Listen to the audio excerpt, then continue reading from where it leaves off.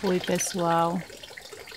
Pessoal, agora eu vou fazer uma atualização aqui de como é que tá minhas phalaenopsis Olha só. Essa aqui é uma que tá plantada. A única que eu tenho plantada no toquinho. Tá muito bem, ó. Eu tenho, eu tenho plantada no toquinho. Tenho plantada no pet com reservatório. Tenho duas no coquedama. E tenho uma no vaso eu gosto de fazer assim para poder ver a adaptação. Olha que linda essa.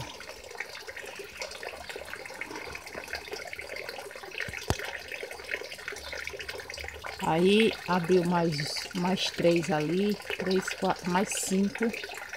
Só que tem algumas que eu tô achando bem parecida com essa.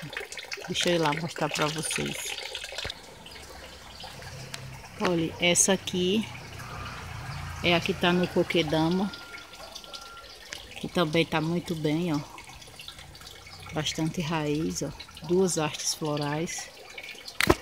E olha a flor. Eu acho bem parecida com aquela outra que eu acabei de mostrar. Ó. Tá vendo? Aí tem aquelas duas também ali, ó. E uma tá no... Não, as duas estão no pet com reservatório. Deixa eu ir lá mostrar. Olha aí, pessoal. Essa tá no pet. E essa também. Olha só.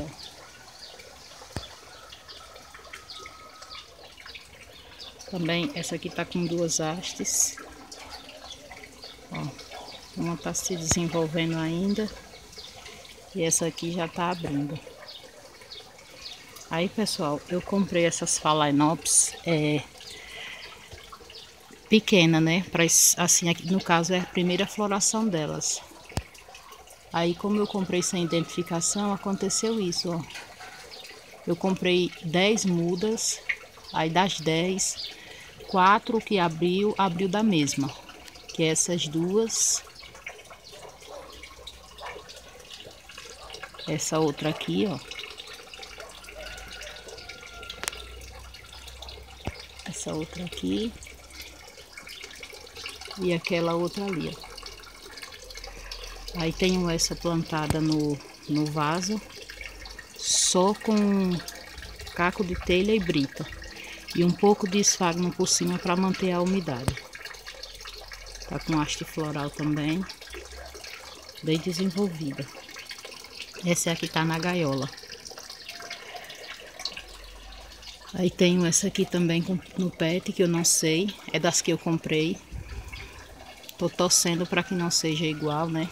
Porque já tem quatro. Essa aqui foi uma que eu ganhei. Ela tá aparecendo azul aqui, mas não é não. Ela é lilás. É porque a plaquinha desbotou. Mas ela é assim, listradinha de lilás. Tá muito bem também, ó, com haste floral. Aí tem essa aqui que é a branca, que eu fiz a experiência de injetar tinta azul. Aqui, ó. Pra ver se ela ficava azul, mas... Olha aí o resultado.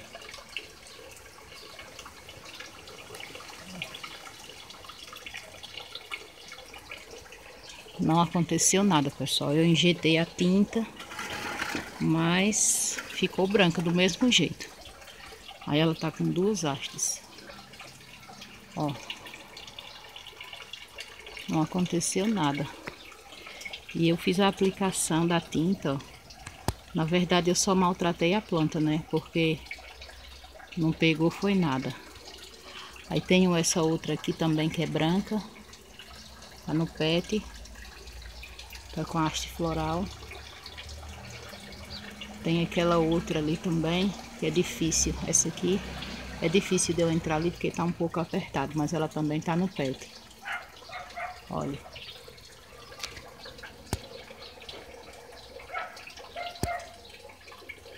É linda ela. Aí tem essa aqui que também tá no pet. A maioria tá no pet.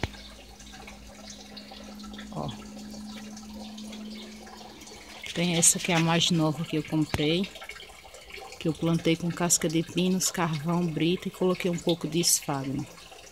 Aí ela veio com essa haste e acabou a floração e tá saindo essa outra. E aqui já tá começando a querer, ó, estourar raiz. É um bom sinal, né? Aí aqui tá que eu plantei só com bolinha de gude, ó. Também tá com o haste floral. Tem até uma mosca. Pelo jeito, pelo desenvolvimento dos botões, eu tô achando que é da mesma cor daquela ali, ó. Eu tô achando, tá do mesmo jeito. E tá se desenvolvendo muito bem, ó. Pra quem achou que não ia dar certo, pessoal, ó. Agora sim eu posso falar. Quem quiser fazer a experiência de plantar com bolinha de gude, pode plantar, porque agora eu posso falar que dá certo. Ó, bastante raiz, haste floral e as folhas bem hidratadas. Lembra que eu falei que era uma experiência, que se eu é, notasse que não ia dar certo, eu tirava e vinha aqui e mostrava para vocês. Mas eu tô vindo aqui hoje mostrar que deu certo sim. Quem quiser fazer, ó, pode fazer.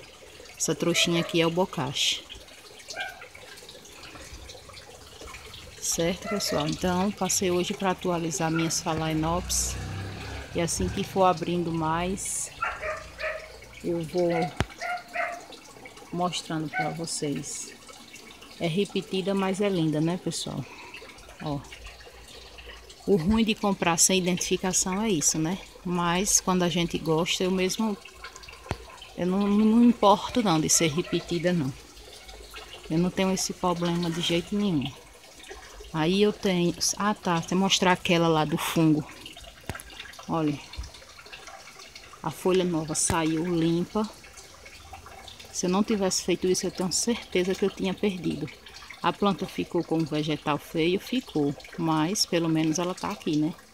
Essa folha aqui, ela tá descartando. Eu não arranco não, pessoal. Deixa cair sozinho. Olha. Tá um pouco apertado aqui, ó. Mas dá pra ver que a folha tá limpa, né, ó. Só tá empoeirada. Quem perguntou como é que tá. Ó. Aí tem essa outra aqui no coquedama também, ó.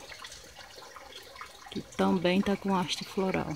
Tá um pouco ruim de ver, mas dá pra ver sim.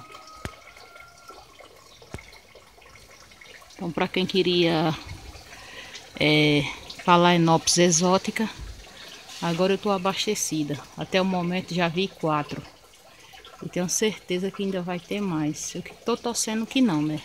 Mas pelo jeito da, das hastes, tá sendo igual. Ó.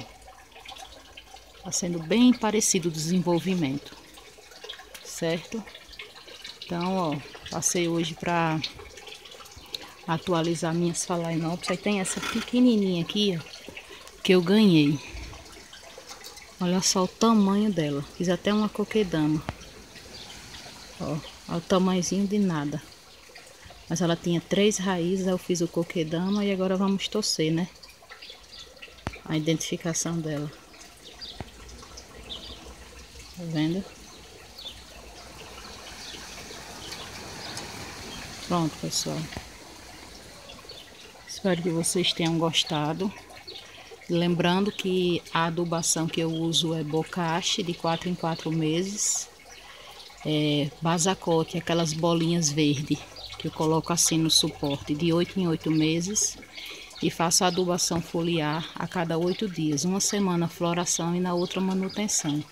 E o substrato que eu uso é sempre casca de pinos, carvão, brita e um pouquinho de chip de coco e esfagno. Às vezes, muito pouco assim em cima. Certo?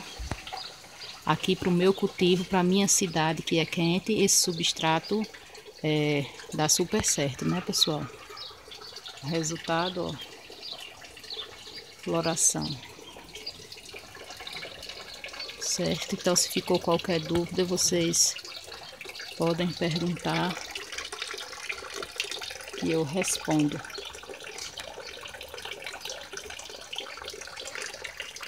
Até o próximo, pessoal.